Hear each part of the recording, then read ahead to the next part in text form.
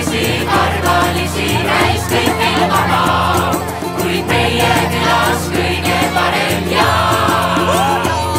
Kuid tuju kurb ja meel on morn, siis ainult mõtle sa, et kuskil taugel päike lotneb.